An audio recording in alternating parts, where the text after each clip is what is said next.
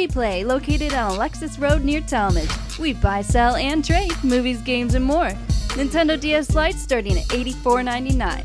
Vintage consoles starting at $9.99. Handheld NES $32.99. iPods starting at $24.99. We have over 10,000 DVDs under $4. Blu-rays as low as $4.99. Replay open seven days a week. Visit us on the web at replayoftoledo.com.